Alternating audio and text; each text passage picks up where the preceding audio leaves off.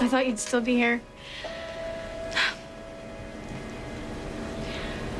Kyle? Charlie's a really great guy. I think you'd really like him. Because I think you're a great guy, too.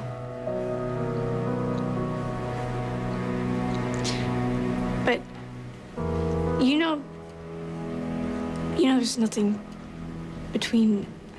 I mean, he thought there might be, but I just I wanted to make sure that you don't like me, do you?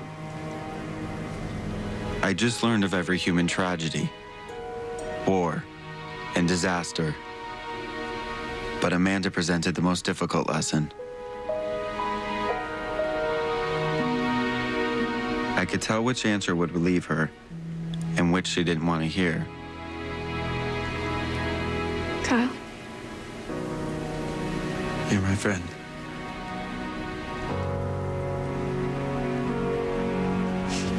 yeah.